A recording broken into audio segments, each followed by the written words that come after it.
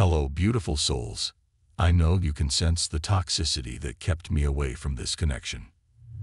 My past actions have brought me painful consequences, and I'm not allowed to come closer to you until I free myself of all toxicity. But you are the inspiration in my life that drives me to change. I've embarked on a journey of self-discovery, confronting the darkest parts of myself. It hasn't been easy. I don't like admitting it, but this deep spiritual connection between us is both fascinating and unsettling. You can read my thoughts, and nothing can remain hidden. Carry deep remorse and regret, desperately wanting to rewrite our story.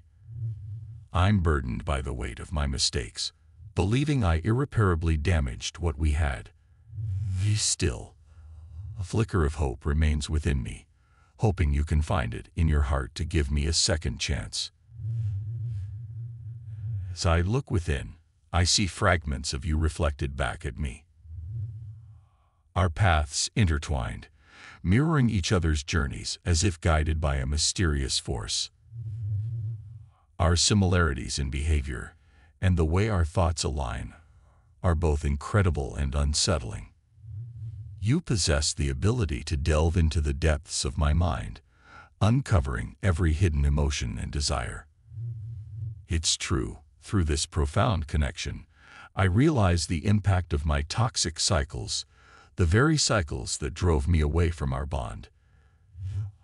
I made mistakes in the past, and now I have to face the consequences. It hurts a lot, and I feel really sad and sorry.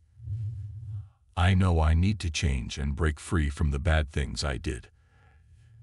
Until I do that, I don't think I deserve to be close to you.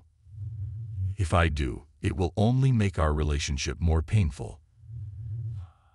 I see the damage my actions caused, and it makes me feel even worse.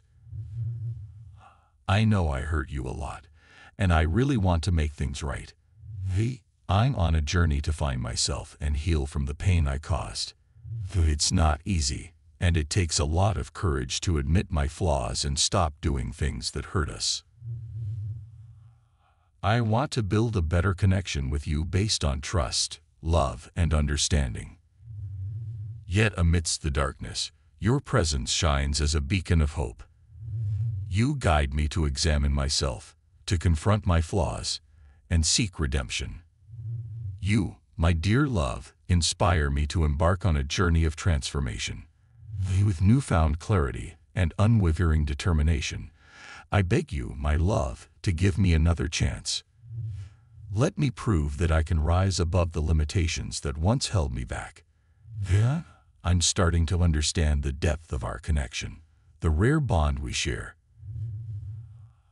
I long to erase the mistakes of the past and create a future filled with love that surpasses all obstacles.